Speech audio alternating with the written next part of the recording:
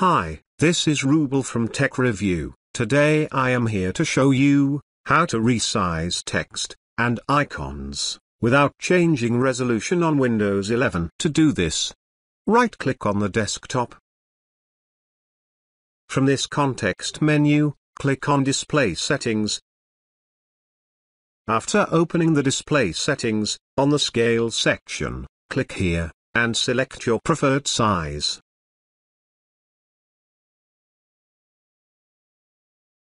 Also, you can set the custom size. To set the custom size, click on this arrow.